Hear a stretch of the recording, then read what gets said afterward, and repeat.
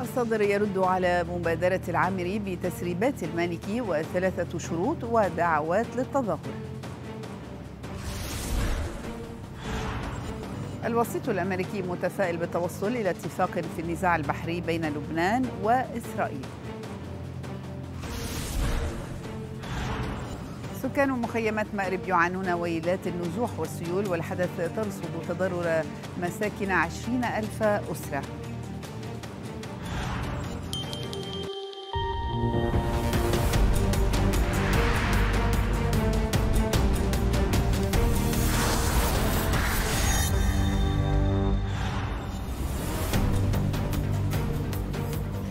أهلا ومرحبا بكم مرة جديدة برفقتنا مع قناة الحدث إلى هذه الساعة الإخبارية. نستهلها بآخر التطورات العراقية. لليوم الثالث على التوالي يواصل التيار الصدر اعتصامه أمام مقر البرلمان العراقي وسط إجراءات أمنية مشددة اتخذت على جسري الجمهورية والسنك لتأمين المتوجهين إلى المنطقة الخضراء وسط بغداد. تقارير ميدانية أفادت بانتشار قوات لسرايا السلام التابعة للصدر على جسري الجمهورية والسنك ونفق الزيتون لتأمين المتوجهين إلى المنطقة الخضراء فيما أكد الصدر اعتصاما مفتوحا داخل البرلمان رفضا لترشيح محمد شياع السوداني لمنصب رئاسة الحكومة. ودعا الإطار التنسيقي إلى التظاهر في محيط المنطقة الخضراء بعد ظهر اليوم فيما دعا وزير الصدر أنصار التيار في مختلف محافظات البلاد للتظاهر عصر اليوم دعما للمتظاهرين. وشدد زعيم تحالف الفتح هادي العامري دعوته للتيار الصدري والإطار التنسيقي بتقديم مصلحة البلاد. مصادر الحدث أفادت بأن بعض الوزارات تقوم بإخلاء الملفات المهمة من دوائرها ومقر الوزراء تحسبا لطوارئ.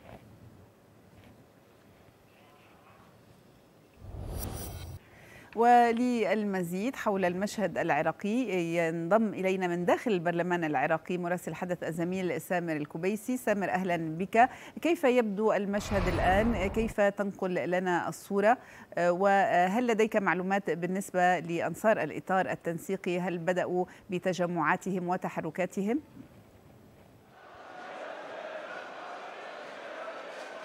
نعم جيزيل في البداية مساء الخير. نحن الآن نتواجد في مبنى البرلمان العراقي تحديدا قرب الدائرة الإعلامية لمجلس النواب. سابقا الآن لا يوجد أي دائرة أو لجنة هنا المتظاهرون يتواجدون في كل مكان.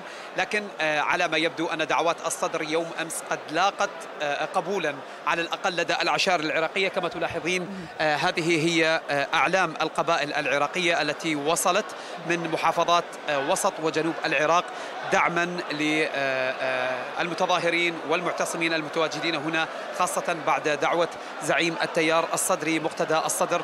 كما ترين هذا جزء قليل من المعتصمين المتواجدين داخل مبنى البرلمان العراقي. أعداد ربما أضعاف ضعفين أو ثلاثة من هؤلاء يتواجدون حتى خارج البرلمان.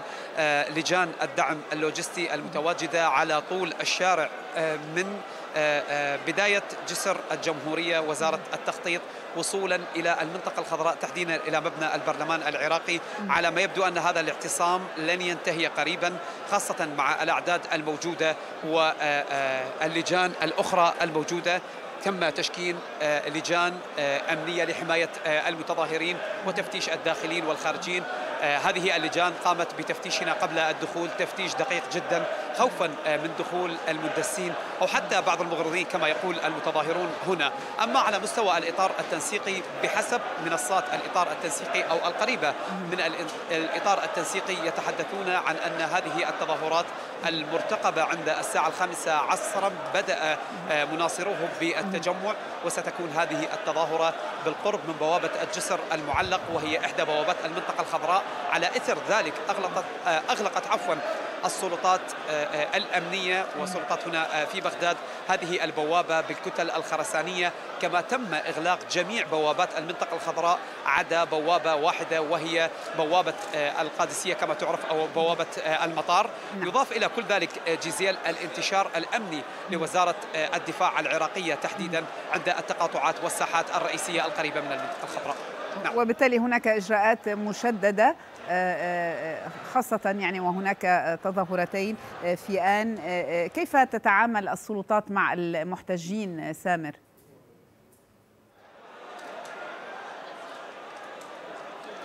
جيزيل فيما يخص المعتصمين هنا في مبنى البرلمان. هناك تعاون بين القوات الأمنية سأتحدث بما جرى لنا تحولنا من جسر الجمهورية. كان هناك تعاون بين القوات الأمنية وبين المتظاهرين. طبعا سمح لفريق العربية والحدث بالدخول باستثناءات ربما من قبل المتظاهرين خاصة مع تغطية استمرت لثلاثة أيام. كان هناك استثناءات لفريق العربية للدخول إلى مبنى البرلمان من جسر الجمهورية. هذا ربما جزء من الإجراءات الأمنية التي يقوم بها المتظاهرون وكذلك القوات الأمنية. الشرطة الاتحادية متواجدة عند بداية جسر الجمهورية لكن أيضا الإجراءات الأخرى التي تم اتخاذها من قبل القوات الأمنية هو قطع بعض الطرق المؤدية إلى مبنى البرلمان وكذلك المنطقة الخضراء عدا بوابة واحدة وهي بوابة البرلمان. تم فتح إحدى البوابات للبرلمان لدخول لجان الدعم اللوجستي وكذلك المتظاهرين الذين يرمون الدخول طبعا إلى مبنى البرلمان. نعم نعم. يعني هل من ردود فعل فيما يتعلق بالتصريحات التي أطلقها الزعيم الصدري؟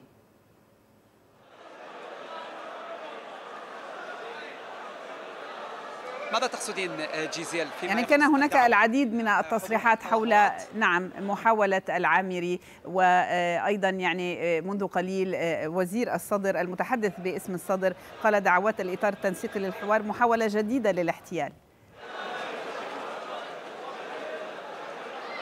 ماذا أيضا بالنسبة للهتافات التي تطلق؟ مبادرة العامري نعم. ولدت ميتة. نعم. تفضل أكمل. نعم جيزيل.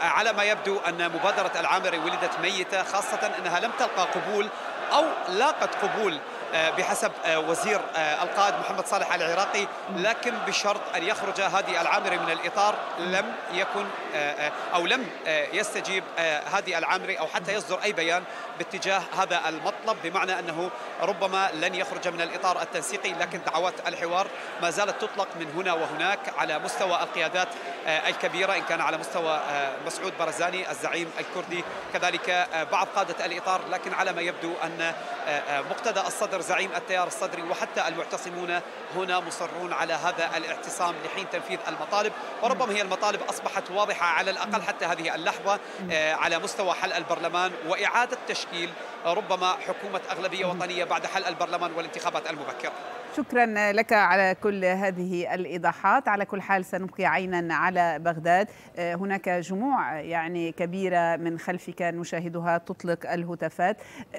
نشكر لك على كل حال كل هذه المعلومات. من داخل البرلمان العراقي رافقنا مراسل الحدث الزميل سامر الكوبيسي.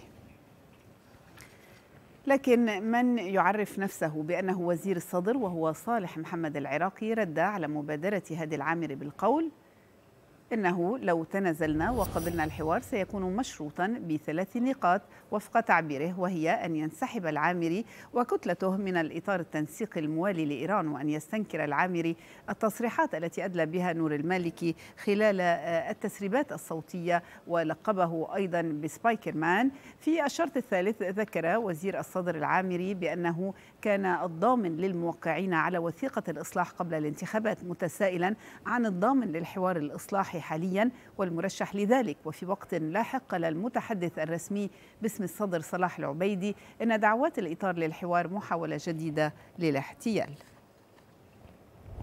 نادي أمراء العشاير أولا أمراء السادة وبعدين العامة. مين إحنا؟ كل من ينادي ويجيب عشيرته ويتكاتف ويا السيد ويتبايع ويا السيد. باسمي وباسم قبيلة عقيل نعلن تضامننا مع المتظاهرين السلميين ضد الظلم والفاسدين لكونهم مجموعة لصوص استولوا على الحكم وهم لا يمثلون الشعب ومسيرين من جهات خارج العراق. وبدورنا نقول لهم من هذا المكان عودوا من حيث أتيتم. تسعة عشر سنة ولم نرى أي منجز أي منجز فقط. فلان سرق وفلان نهب من خيرات البلد وهرب خارج العراق. والله إحنا شنو طالب يعني؟ أنا شو طالب؟ يعني شبابنا تدمرت هاي الشباب تدمرت. وقاعد تطبنا شغلات ممنوعة ممنوعه لشبابنا أنت طب للسجون وشوف الشباب؟ عمره سبع سنين وثمان سنين وعشر سنين كريستال وحبوب. شنو ذنب هاي الشباب؟ يعني إحنا بهات قلنا ما نسيطر. ممثل المرجعية في النجف عبد المهدي الكربلائي حث العشائر العراقية على الحفاظ على وحدة الصف ونبذ التفرقة وعدم سفك الدماء. عشائرنا الكريمة أنتم برجالكم ورجال الأبطال من العراقيين. بدمائكم الزكية قد حفظتم وصنتم العراق فحافظوا على دمائكم ووحدتكم وتماسككم بالتمسك بأحكام الله تعالى. والعيش بسلام ووئام. قبل ذلك كشف مصدر مقرب من داخل التيار الصدري للشرق الأوسط عن خطوة حاسمة يمكن أن يخطوها مقتدى الصدر باتجاه إعادة هيكلة النظام السياسي. وأوضح المصدر أن لا أحد يعرف حتى الآن طبيعة وشكل تلك الخطوة التي سيقدم عليها الصدر مضيفا أن الصدر وتياره يدركان أن الصيغة السياسية الحالية المبنية على التوافق والمحاصصة السياسية باتت عديمة الفائدة كما أنها أنتجت في العقدين الماضيين أنظمة معتلة وفاسدة ولا يمكن الركون إليها بعد اليوم.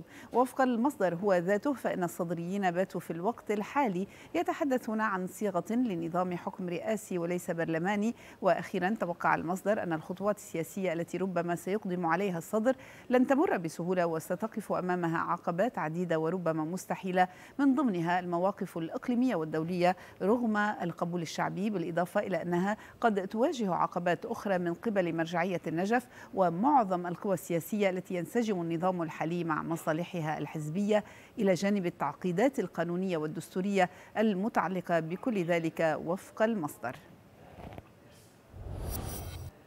ولمتابعة كل هذه التطورات والمستجدات في المشهد العراقي ينضم إلينا من بغداد الكاتب السياسي والإعلامي الأستاذ فلاح المشعل. أهلا بك أستاذ فلاح مرة جديدة برفقتنا مع قناة الحدث. في متابعة لهذه التطورات يعني تحركات اليوم منتظرة مضادة للإطار التنسيقي الموالي لإيران. برأيك ما الهدف منها؟ نعم شكرا جزيلا. هو حقيقة الهدف منها ابتداء هو إثبات إثبات وجود يعني ليس إلا. لكن ينبغي على رعاة هذه التظاهرة أن يدركوا بأن المزاج العراقي العام والمزاج الشعبي العام قد تحول باتجاه الثورة التي دعا إليها السيد الصدر من أن تغيير النظام السياسي هذا النظام نظام فاسد بكل تفاصيله. وعملية سياسية عملية يعني لفظت أنفاسها الأخيرة الآن. لهذا أنا أعتقد يعني أي محاولات لإرجاع الزمن السابق أو إرجاع الزمن إلى الوراء هذه فاشلة حقيقة. أي استخدام أيضا للسلاح أو التلويح باستخدام السلاح هو الآخر فكرة ميتة وليست ذات قيمة. لأنه نحن نلاحظ يعني منذ أن أطلق السيد الصدر مبادرته مساء يوم أمس كانت برقيات تتوالى عليه من كبار شيوخ العشائر في الجنوب والوسط. نعم. وهناك من التحق عمليا ودخل الخضراء والتحق بالبرلمان. وكانت حشود بشرية هائلة جدا. متجهة إلى مقر البرلمان وللمنطقة الخضراء. فالآن العراق يعني بصورة عامة ينتظر هذه التحولات ينتظر الخطوات اللاحقة التي سيقدم عليها الصدر خصوصا وأن الصدر اشترط باستمرار الثورة والتحولات حتى مع وجود. الدعم الشعبي العام. أراد أراد غطاء شعبيا. يعني نعم. فهذه يعني أمام هذا الضغط. الآن برأيك يعني من الشارع نعم. هل سيتنازل الإطار التنسيقي عن السوداني أم المطلوب أكثر من ذلك خطوات أكثر إلى الوراء؟ كما يعني صرح الزعيم الصدري هناك ثلاثة شروط تحدث عنها كما تبعنا. نعم أنا أعتقد موضوع ترشيح السوداني أصبح جزء من ماضي هذا ممكن نتحدث عنه قبل ثلاثة أيام أو أربعة أيام. اليوم الموضوع مختلف تماما يعني اليوم هي ساعات للتحول وللتغيير الدراماتيكي اللي يحصل الآن. شروط السيد متحدث وزير الصدر هو ثبت هذه القضية حقيقة حينما قال أنك تخرج من الإطار وأنك تدين للعام نوري المالكي على تسريباته وسمي سبايدر مان أو سبايكر man سبايكر man و يعني هو الحديث عن عن العامري. نعم. فهذه كلها حقيقة هي شروط ذكية لتفكيك أو تفتيت الإطار التنسيقي هذه أولا ثانيا الساعات العراقية الآن كل ساعة يترشح عنها موقف جديد حقيقة نعم. بعد هذا التأييد الشعبي العام الذي حصل آه، منذ انطلاق نداء الصدر مساء أمس وإلى اليوم. إنه ال ال يعني الحراك الاجتماعي العام والرؤية الشمولية للشعب العراقي اليوم أصبحت تؤمن حقيقة تؤمن إيمان كامل وفعلي بأهمية وضرورة التغيير السياسي لابد من تغيير بنية نظام سياسي بني على الفساد وبني على المحاصصة وما يسمى بالتوافقية وبالنتيجه لم ينتج سوى خراب وإفلاس نعم. وتراجع عام ومؤلم حقيقة في جميع مناحي الحياة نعم. العراقية. يعني كما تفضلت وذكرت هل هل تعتقد أن هناك حلول وسط أم كما يعني دعا الزعيم الصدري هو يطالب بهيكلة لنظام سياسي جديد هل هذا قابل للتحقيق في هذا الجو المشحون برأيك؟ لا أعتقد أنا لا أعتقد لا أعتقد اليوم هذا الزخم المؤيد للسيد الصدر يعطي له قوة أعلى بفرض شروط وبالمضي بثورته كما أسماها. لا توجد حلول وسطية. يعني كانت دعوة السيد نجرفان برزاني ودعوة السيد العامري وغيرها من دعوات. يعني قيادات الإطار كلها دعت إلى الحوار وإلى التهدئة وغير ذلك. لكنها فات وقتها حقيقة. نعم. فات وقتها بال بال بال بالمعطيات العملية والفعلية من إن اليوم البرلمان خلاص انتهى هل الانجع يعني كما تتفضل كامل لل, لل يعني كما تفضلت وذكرت أستاذ نعم. فلاح حل اليوم الحل الأنجع هو آه، يعني حل البرلمان والذهاب إلى انتخابات مبكرة خصوصا مع وجود رجل كرئيس الحكومة الحالي مصطفى القادمي لتحقيق يعني أعتقد هذه. من الخطوات أعتقد هذه هي الخطوات المقبلة آه، لتوجهات الجماهير المحتجة أو المنتفضة الصدرية والجماهير الأخرى التي ساندتها أو رافقتها في الاحتجاج. هو إسقاط البرلمان تشكيل حكومة جديدة حكومة أو إبقاء هذه الحكومة لإنجاز المهام التالية تعديل دستوري إعادة النظر بالدستور تحويل النظام إلى نظام رئاسي مع وجود برلمان جديد وانتخابات جديدة لبرلمان وبالنتيجة ينبغي أن طبعا هذه الخطوات آه، تنطوي أيضا على أفكار أخرى منها محاكمة ومحاسبة الفاسدين نعم. البحث عن آه، عمليات الهدر التي حصلت للمال العام ضياع المال العام الوقائع آه، التي تعرض لها السجون وحقائق السجون. هذه كلها هذه مطالب الشارع العراقي. بعد نعم. انجاز نعم. مضبوط. نعم, نعم. بعد يعني إنجاز أود أن أطرح عليك سؤال سريع. النظام السياسي. نعم فيما يتعلق نعم. بالإطار التنسيقي يعني هناك نوع من التباين فيما يتعلق بالمشاركة آه، بهذه التظاهرة اليوم من عدمه وبالتالي نحن نعرف يعني ولاء الإطار التنسيقي لإيران هل إيران برأيك ستقبل يعني بهذا التفكك ضمن الإطار التنسيقي؟ يعني إيران آه، يعني الأمور لا ترتبط برغبة إيران حقيقة أكو معطيات الواقع هي ما تفرض الآن صار يعني شروط الواقع هي التي تفرض وليس وصايا من إيران أو من غير إيران. الإطار التنسيقي يعني فيه آه، شخصيات وفيه ناس آه، يمكن أن ينسحبوا يمكن أن لا يشاركوا أصلا في هذه التظاهرة. ونحن نقرأ يعني منذ يوم أمس آه، انسحابات واضحة مثلا جماعة العباد يعلنوا أنهم لا يشاركون في المظاهرات آه، أطراف أخرى يعني عبر نعم. التسريبات إنهم لن يشاركوا ولن يدعموا مثل هكذا تظاهرة للإطار التنسيقي. عموما نحن نرجو نعم. آه، حقيقة من جميع أن يرضخوا للواقع للواقع السياسي ومعطيات الواقع السياسي. الشعب العراقي تعب كثيرا خلال التسعة عشر عاما وتسمعين أنت الأصوات مباشرة نعم. تنقلوها حقيقة مشكورين من نعم. واقع الحدث سواء بالشارع العراقي أو من داخل البرلمان. شكرا لك أستاذ فلاح لكل ما تفضلت به من مداخلة كان معنا من بغداد الكاتب السياسي والإعلامي فلاح المشعل شكرا لك إيران التي تقف خلف غالبية أزمات العراق سعت للتنصل منها حيث أعلن المتحدث باسم الخارجية الإيرانية ناصر كنعاني أن بلاده تتابع التطورات في العراق عن كثب وبقلق. وأضاف كنعاني أن بلاده تعتبر النزاعات في العراق شأنا داخليا مشددا على أن استقرار العراق وأمنه مهم للمنطقة.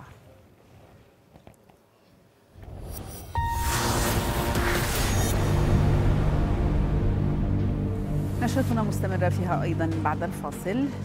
حريق بخوادم انترنت في طهران يعطل الاتصالات وأنظمة مصرفية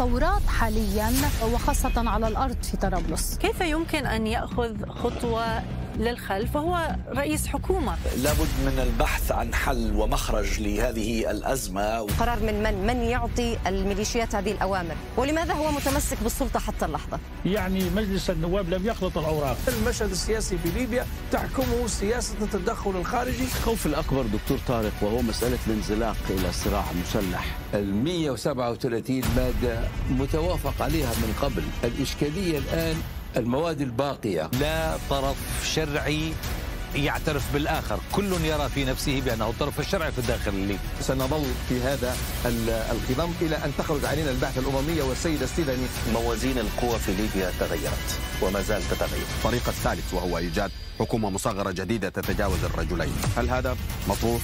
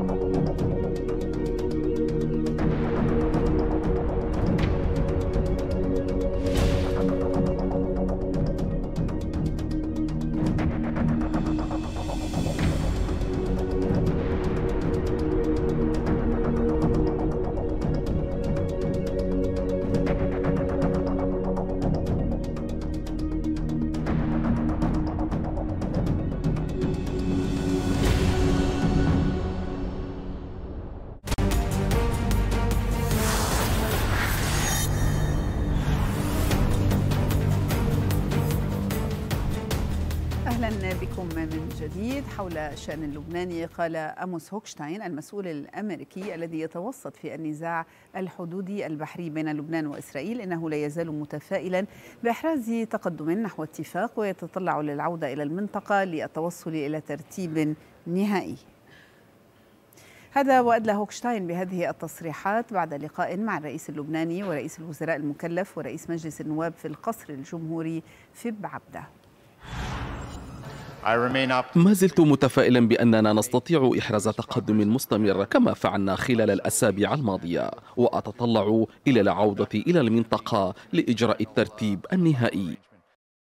من جانب آخر حذر مسؤولون أمنيون إسرائيليون من الرد على أي خرق تقوم به ميليشيا حزب الله وعدم الاكتفاء بمجرد اعتراض المسيرات.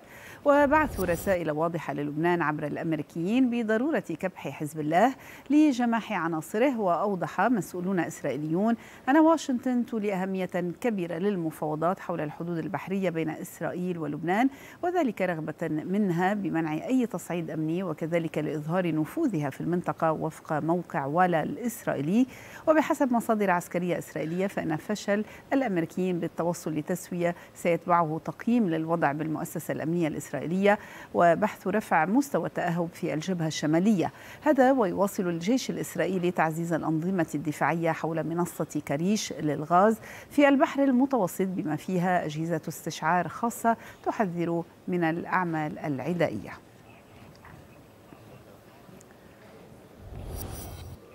وللحديث أكثر حول هذه الزيارة عن ترسيم الحدود البحرية اللبنانية والإسرائيلية. من جديد ينضم إلينا مراسل الحدث الزميل محمود شكر.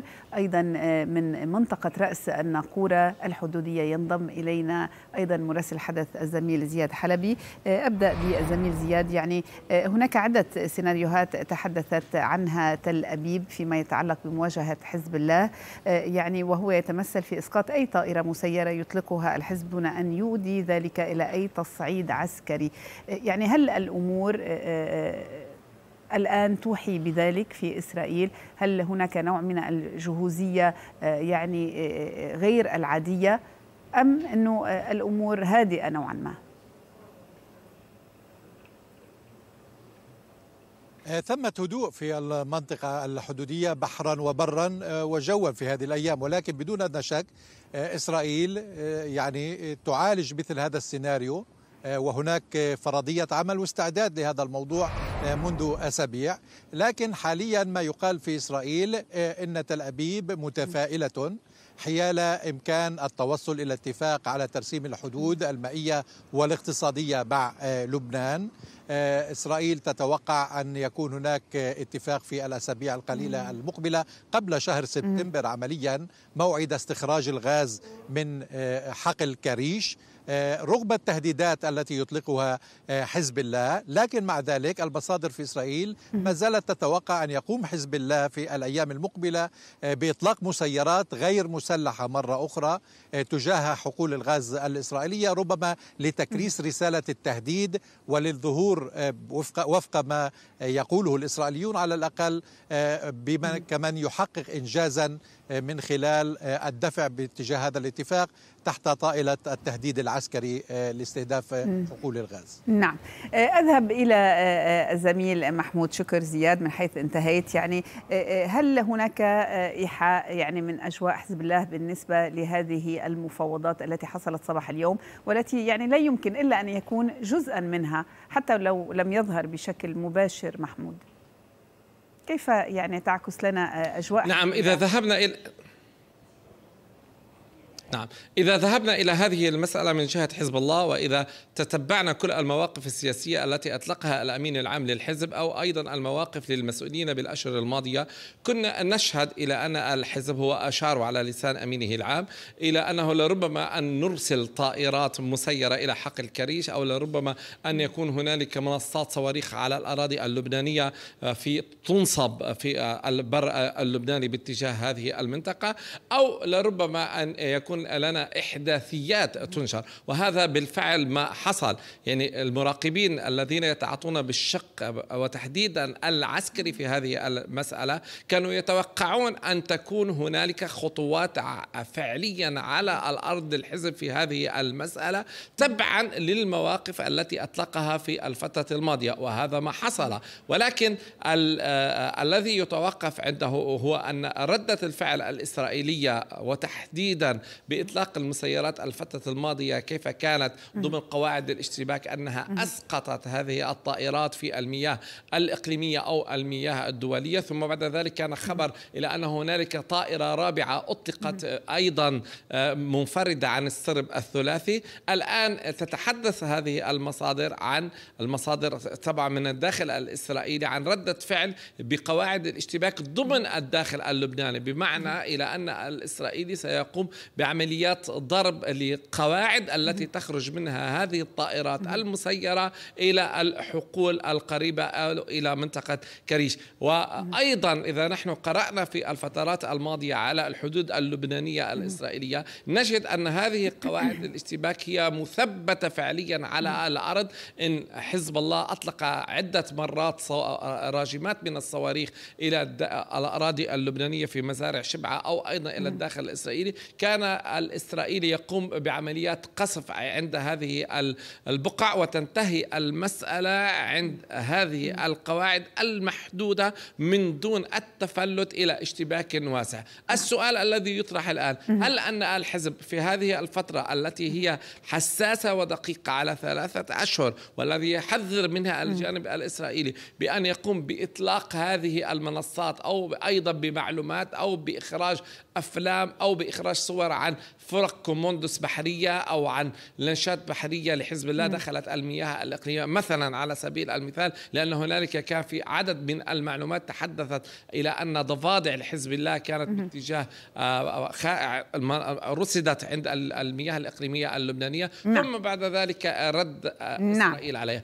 ولكن الجو العام السائد نعم. في لبنان وفي إسرائيل وفي المنطقة هو الذهاب إلى الإيجابية في هذا الملف نعم. مع حساسية العمل العسكري إذا وقع نعم. دعني يعني أتابع مع زياد من حيث انتهيت. إلى أي مدى زياد؟ يعني هناك التزام من الجانب الإسرائيلي بقواعد الاشتباك التي تحدث عنها محمود. يعني خصوصا سمعنا الكثير من التهديدات المتبادلة لكننا لم نرى شيئا فعليا على الأرض.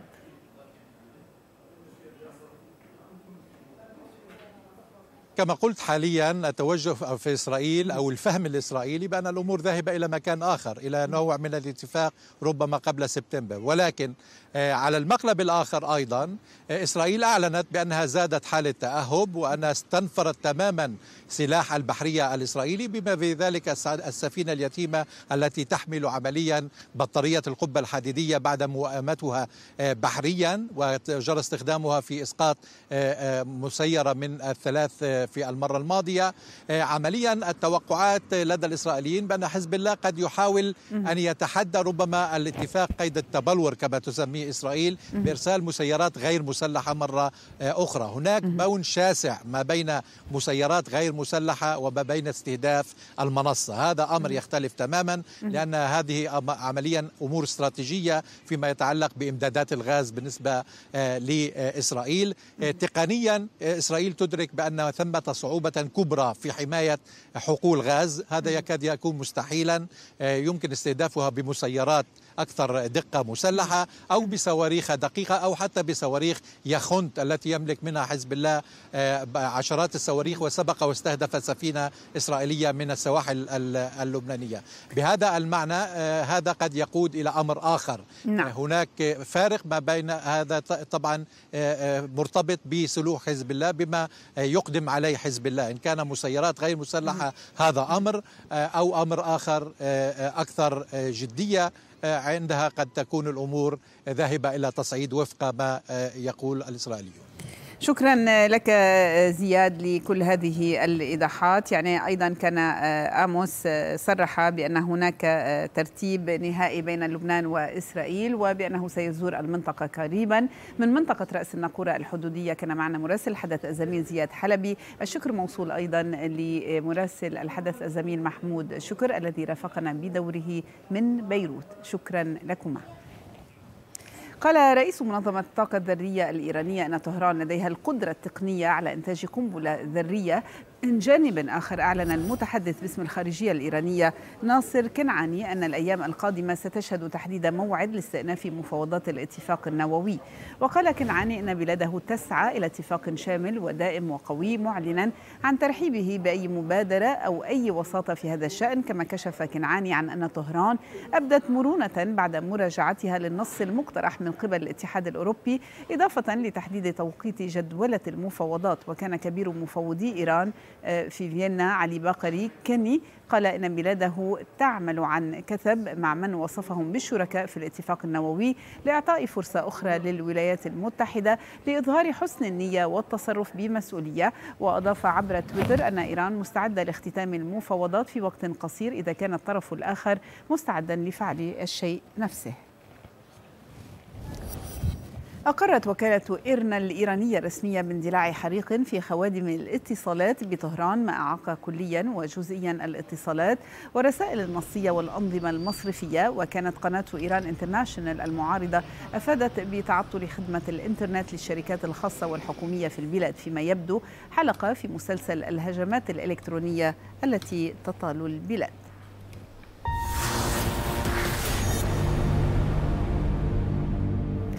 نشرتنا مستمرة فيها أيضا بعد الفاصل. مجلس الدولة الليبي يعيد انتخاب خالد المشري رئيسا لولاية خامسة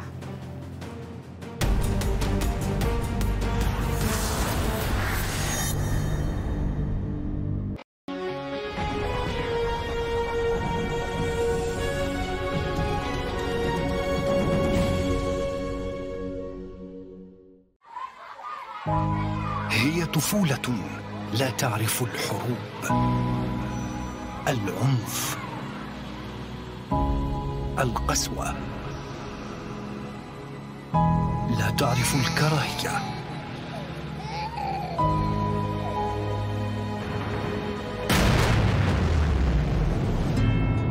لكنها تدفع ثمن كل ذلك.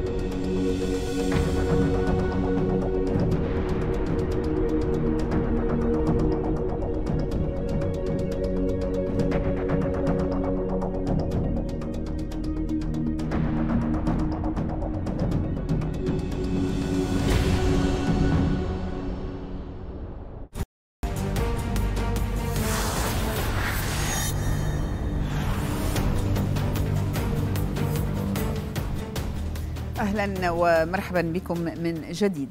دعت 30 منظمة إنسانية دولية الأطراف في اليمن إلى تمديد الهدنة الإنسانية ستة أشهر إضافية والالتزام بتنفيذ كل بنودها بما فيها إعادة فتح الطرق في تعز المحصره. جاء ذلك في بيان مشترك لمنظمات أوكسفام وفتيات مأرب والمجلس النرويجي للشؤون اللاجئين و27 منظمة إنسانية دولية ومحلية أخرى. البيان حث أطراف النزاع على تمديد الهدنة ستة أشهر والوفاء بجميع بنود الاتفاقية بما في ذلك إعادة فتح الطرق في تعز وأشار البيان إلى أن الأشهر الأربعة الماضية شهد اليمنيون أطول فترة هدوء في البلاد منذ أكثر من سبع سنوات وأكد تراجع عدد الضحايا من المدنيين بشكل ملحوظ رغم الانتهاكات التي طالت الهدنة ومنذ أيام تبذل الأمم المتحدة ومبعوثها والمبعوث الأمريكي جهودا حثيثة لإقناع الأطراف بتمديد الهدنة لستة أشهر في ظل تعثر تنفيذ بندها المتعلق بفتح طرقات تعز ودفع رواتب الموظفين. شهر جديد من معاناة النازحين في محافظة مأرب جراء الأمطار وتدفق السيول التي تسببت بجرف وتضرر خيام ومساكن. أكثر من عشرين ألف أسرة نازحون تحولت عندهم نعمة الأمطار إلى مأساة في مساكن متهر مهترئة غير مقاومة للرياح والأمطار. الحدث زارت مخيم رميلي شرق مأرب ورصدت لنا معاناة النازحين. نتابع بجهود مضنية يعمل سالم وأشقاؤه على جمع أعواد الأشجار وتأسيس مسكن بديل لأسرتهم بعد أن جرفت مياه السيول خيامهم بما فيها في مخيم الرميلة شرق مأرب. وبطرق وإمكانيات بسيطة يحاولون تثبيت المسكن البديل لتحمل العواصف الرملية والأمطار. ما قدرنا نأخذ أي حاجة إلا أطفالنا ومشردين وأخذ علينا كل شيء. ومعنا غير الشجر نقطع منه ونصلح النعوشش ونحط الطرابيل. ومعنا شيء يعني لا فلوس ولا معنا شيء نقدر نصلح به أكثر من 120 مسكنا للنازحين غرقت بالكامل في هذا المكان. وما يزال خطر السيول يتهددهم مع استمرار المنخفض الجوي. دخلنا السيل الساعة ثلاثة قبل الفجر. وأتلف كل ما نحتويه من مواد غذائية وإيوائية وكل شيء. وجت المنظمة أعطتنا خيمة خيمة. وأعطتنا يعني مواد نظافه تلفت كل ما يحتوي للنازحين من مواد إيوائية ومواد غذائية وغيرها من المواد. فهذا جزء من ما تشاهدونه الآن في هذا المخيم الذي بيقطعون منها الشجر. لا يبنوا منها مساكن لهم. وحيث آه، المنظمات قامت بجزء بسيط من آه، المواد الإيوائية. والآن المستفيدين بحاجة إلى المزيد من المنظمات. تتحول نعمة الأمطار التي ينتظرها النازحون في أجواء مأرب الحارة إلى مآسٍ في مخيمات النزوح وسط تدخلات إنسانية شحيحة.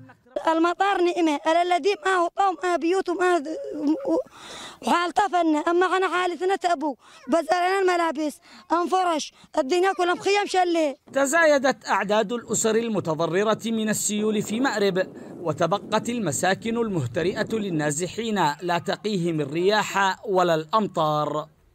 في ذات المواقع التي جرفتها السيول يعيد النازحون بناء مساكنهم بما استطاعوا لإيواء أطفالهم.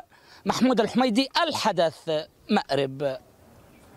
وللوقوف أكثر عند أوضاع الناس في اليمن الذين تعرضوا لهذه السيول. ينضم إلينا من مأرب مراسل الحدث الزميل محمود الحميدي. أهلا بك محمود. يعني كما تبعنا هناك سيول وأضرار كبيرة. حجم هذه الأضرار وما هي المخيمات التي تضررت من هذه السيول؟ مرحبا جيزيل. بالنسبة لأضرار السيول على النازحين في محافظة مأرب فإنها أضرار كبيرة طالت العديد من المخيمات في محيط مدينة مأرب وكذلك في مديرية الوادي. هذه الأضرار التي بدأت منذ أول أسبوع من شهر يوليو بتدفق الكثير من السيول القادمة من المرتفعات الغربية لمحافظة مأرب واجتاحت مخيمات النزوح بدءا بمخيم الجفينة وهو أكبر تجمعات النزوح في اليمن هنا وسط مدينة مأرب وأيضا مخيمات الرميلة والرويك أيضا ومخيمات كثيرة في صحراء محافظة مأرب. تضرر أكثر من عشرين ألف أسرة من هذه السيول والأمطار وأيضا من الرياح والعواصف التي جاءت قبل هذه السيول واقتلعت خيام النازحين وتحديدا في مخيمي السمية والنقيعة شرق محافظة مأرب. هذه الكوارث التي حلت على النازحين لم تجد تدخل إنساني كافي لكي يحل مشاكل النازحين. ولكي يعيد إيواء هذه نعم. الأسر. بالتالي ال ال الوحدة التنفيذية لإدارة مخيمات النازحين قالت نعم نعم عذرا يعني للمقاطعة محمود ولكن ماذا عن السلطات المحلية؟ ألم يعني تقوم بإجراءات لمساعدة هؤلاء النازحين؟ أيضا ماذا عن الجمعيات الإغاثية؟ نعم السلطات المحلية وعبر الوحدة التنفيذية لإدارة مخيمات النازحين قالت أنها رصدت الأضرار وأبلغت شركاء العمل الإنساني وبثلاث نداءات استجاب بثلاث نداءات استغاثة لمنظمات الأمم المتحدة بعثتها الوحدة التنفيذية لإدارة مخيمات النازحين قالت أنها حصلت على عشرة بالمئة فقط من التدخلات لهؤلاء الأسر. إذا حجم الاحتياج كبير أكثر من عشرين ألف أسرة متضررة والتدخلات التدخلات الإنسانية شحيحة جدا وكما شاهدنا أن النازحين يقومون ببناء مساكن بديلة من أعواد الأشجار ومما استطاعوا توفيره لإعادة أسرهم إليها. الأسر في العراء وتحديدا في الصحراء. هناك منظمات لم تصل إلى النازحين ومنظمة الهجرة الدولية التي تمثل الأمم المتحدة هنا في محافظة مأرب والتي لديها تدخل مباشر مع النازحين في الكثير من المخيمات. قدمت مواد إيوائية ومواد غذائية لكنها لم تصل إلى حد الاحتياج الذي يلبي النازحين والعدد الكبير من المتضررين هنا في محافظة. يعني ماذا بالنسبة لإيواء هؤلاء المتضررين؟ يعني ألم يتم إيواءهم؟ أم هم يعني يعيشون في العراء؟ للأسف للأسف فإن 90% من هؤلاء المتضررين لم تصلهم المساعدات. بعضهم استطاع تجميع ما أتلفته الأمطار وأيضا ما اقتلعته الرياح وإعادة بناء مساكنهم من جديد. بعضهم وكما شاهدنا في الصور قبل قليل اتخذوا من أعواد الأشجار مساكن جديدة حتى تأتي المنظمات الإنسانية لمساعدتهم. وبعضهم في الصحراء إلى الآن ما يزالون بدون مأوى. نعم. يعني كنا نود الحديث أكثر ولكن داهمنا الوقت. نشكر لك كل هذه الإيضاحات يعني على أن تسمع كل هذه المنظمات الإغاثية ربما لمد يد العون لهؤلاء. نشكر لك هذه المشاركة معنا من مأرب مراسل الحدث الزميل محمد محمود الحميدي. شكرا لك. بعد مرور عشر سنوات على إنشاء مخيم الزعتري وازدياد أعداد اللاجئين فيه حتى بات أكبر خامس مدينة في الأردن ما يزال اللاجئون السوريون يعانون من أوضاع معيشية صعبة يفرضها واقع اللجوء الكثير من القصص الإنسانية في الزعتري تعود بمعظمها للأطفال الذين يشكلون أكثر من 50% من عدد اللاجئين فيه. بهوية لاجئ بدأت أولى لحظات حياة يوسف ورفاقه. صرخة الحياة الأولى كانت بعيدة عن الوطن. كبر يوسف مع مخيم الزعتر للاجئين السوريين واقتسما سويا العمر ذاته. عشر سنوات وسوريا مجرد حكاية وطن سلب حقهم في العيش فيه. أما مخيم الزعتري فهو الشيء الوحيد الذي يعرفه يوسف في هذه الحياة. أنا انولدت هون بالمخيم. بعرف المخيم كامل بس سوريا ما بعرف عنها شيء. آه مبسوط ما أعرف قاعدة بروح بدرس بالمدرسة أو بنلعب عقد من الزمن فات وما يزال عداد الوقت مستمرا. مخيم فيه بدأت حياة كثيرين وكثيرون يتمنون ألا تنتهي حياتهم هنا. قصص واقعها صعب وأحلام سياجها أكبر مخيم عنوانه الزعتري. وفي حين بات مخيم الزعتري رمزا للجوء السوري تقودك خطواتك فيه لبيت بابه من قماش. هكذا لملمت الحاجة زهرة باقي ما تبقى في ذاكرتها عن سوريا. تزيد بسنوات عمرها عن المئة وعشرة أعوام وأكثر. شهدت أقسى لحظات الحياة وعاصرت الكثير من الحروب لكن الأصعب كان في النهايات. لاجئة عاشت ما عاشت من سنين وهويتها اليوم لاجئة ودعت عمرها الطويل في سوريا. احكي لي يما شو كنتوا بسوريا تعملوا؟ شو كنتوا تشتغلوا؟ نحصد ونرجد وندرس. نزرع غلة. كيف هذا شغلنا صارت هالحركة دشرنا. والله ثلاث خزاين دشرت. دشرنا وفلينا شو بدنا نسوي؟ هالروغ غالية يا ابن الحلال. بخيام مترامية بدأ مخيم الزعتري وكبر بحجم إعداد القادمين إليه من سوريا حتى بات أكبر خامس مدينة في الأردن. هنا تمر عليهم السنين كغيرهم ربما لكن الواقع أنهم لاجئون يعيشون بعيدا عن الوطن وعلى أرض اللجوء ما زالت حكاياتهم مستمرة. من مخيم الزعتري شمال العاصمة عمان عماد العضايلة الحدث.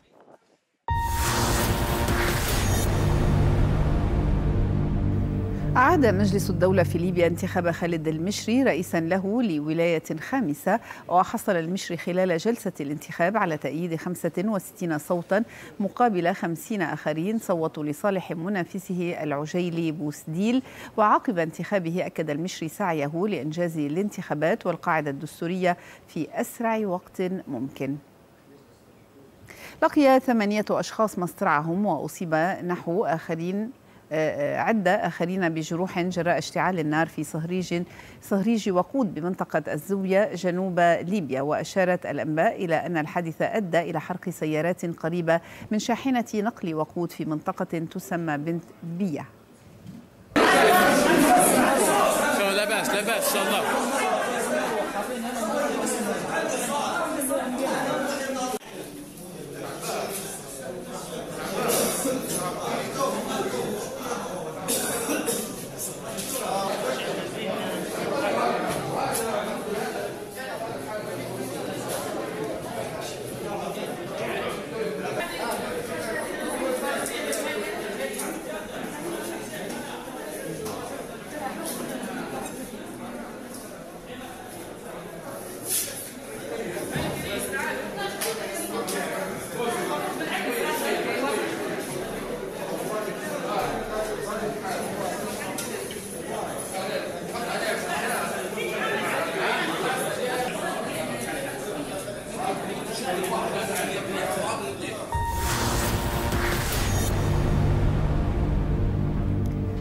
أعلنت وزارة الدفاع التركية عن مغادرة أول شحنة حبوب أوكرانية من ميناء أوديسا اليوم. من جهتها أكدت أوكرانيا مغادرة السفينة رازوني الميناء وهي ترفع علم سيراليون وأكد مركز تنسيق إخراج الحبوب من أوكرانيا أن السفينة ستتوجه إلى ميناء طرابلس في لبنان بعد الفحص في المياه التركية التي تصلها غدا. وقال المركز أن السفينة تحمل أكثر من 26 ألف أو 26 ألف طن من الذرة. للمزيد ينضم إلينا من إسطنبول مراسل الحدث الزميل زيدان زينكلو. زيدان ما هي الإجراءات التي تخضع لها هذه السفن أو هذه السفينة الأولى القادمة من البحر الأسود من أوديسا؟ نعم جزيل. من المتوقع أن تصل هذه السفينة في الساعة الثالثة من بعد ظهر يوم غد الثلاثاء. الساعة الثالثة بالتوقيت المحلي الساعة الثانية عشرة بتوقيت غرينتش ظهر يوم غد. طبعا عند وصولها إلى مضيق البوسفور هناك نقطة معينة لم يتم الكشف عن نقطة الرسو التي سيتم من خلالها تفتيش هذه السفينة من خلال فريق مشترك من مركز تنسيق صادرات الحبوب آه الذي آه افتتح الأسبوع الماضي. آه لكن آه ما ما هو أكيد أن هذه السفينة ستفتش هنا في إسطنبول. سيتم تفتيش هذه السفينة ومن ثم ستغادر من هذه النقطة التي آه نتواجد فيها الآن. هذه النقطة هي بحر مرمرة عند خروج السفينة وخروج السفن. من مضيق البوسفور باتجاه البحر الأبيض المتوسط أو أولا بحر إيجا ومن ثم البحر الأبيض المتوسط. سيمر ستمر السفن من هنا وبالتالي سفينة رازوني عند توجهها يوم غد. من إسطنبول إلى ميناء طرابلس في لبنان ستمر من هذه النقطة التي نتواجد فيها الآن. بالعموم هذه هي السفينة الأولى. السفينة الثانية بحسب ولكن قبل قبل أن نتابع زيدان عذرا للمقاطعة يعني هل من معلومات لديك لماذا تم اختيار لبنان كوجهة لهذه السفينة؟ وما هي حمولة هذه السفينة؟ نعم. آه لا توجد معلومات لماذا تم اختيار لبنان لكن آه ما تم آه ذكره من قبل بعض المصادر ما تابعناها اليوم أن هناك شحنات جرى طلب هذه الشحنات قبل فترة ويتم إخراج هذه الشحنات تباعا من قبل الجهات التي طلبت هذه الشحنات وبالتالي أول شحنة كانت إلى لبنان. طبعا هناك آمال وتوقعات بأن يزيد عدد السفن التي تخرج من الموانئ الأوكرانية. الآن السفن تنطلق من ميناء أوديسا فقط. هناك توقعات خلال فترة قريبة جدا أن تعود السفن وتنطلق من ثلاثة موانئ أوكرانية. وبالتالي تتكثف عملية إخراج الحبوب من الموانئ الأوكرانية. السفينة الثانية كانت مصادر تركية تحدثت هذا اليوم بأنها تحمل اسم نافي ستار وهي سفينة تركية تحمل هذا الاسم وتحمل علم أجنبي. ستنطلق أيضا اليوم من ميناء أوديسا. لكن حتى الآن لم يتم الكشف عن حمولة هذه السفينه السفينة. الثانية. طبعا سألتني قبل قليل عن حمولة السفينة الأولى. كانت حمولة السفينة الأولى, هي من من الذرة. السفينة الثانية حتى الآن نافي ستار لم يتم الكشف عن حمولتها. وأي ساعة في أي توقيت ستخرج من ميناء أوديسا. لكن هناك ترجيحات تشير أو مصادر تركية تشير إلى أن السفينة الثانية ستنطلق من ميناء أوديسا هذا اليوم. نعم. يعني هل هناك معلومات إذا سيكون هناك المزيد من السفن التي أيضا ستغادر من مرفأ أوديسا. نعم بالتأكيد هناك توقعات بأن تتكثف أو يكون هناك تسارع في وتيرة إخراج السفن خلال الأيام القليلة القادمة.